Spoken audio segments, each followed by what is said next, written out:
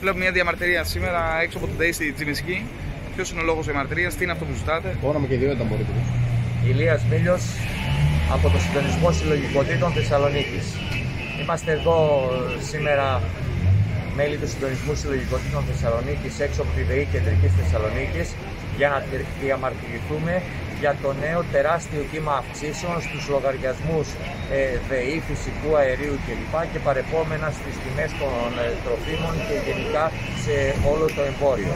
Την ίδια στιγμή, με άλλα λόγια, που το εργατικό εισόδημα με πολλούς τρόπους, έρχεται η κυβέρνηση να μιλά, μιλώντας στο όνομα μιας διεθνούς ανόδου των τιμών να επιβάλλει τεράστιες αυξήσεις σε όλους τους λογαριασμούς που κάνουν ακόμα πιο δυσβάστατη την επιβίωση της, ε, της λαϊκής οικογένειας.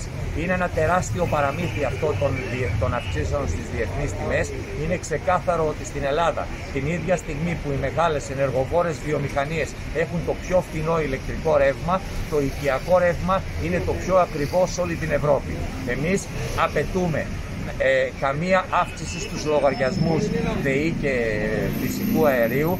Απαιτούμε την ίδια στιγμή να διαγραφούν τα χρέη των λαϊκών οικογενειών. Απαιτούμε ρεύμα, ενέργεια, νερό, φτηνό για όλο το λαό.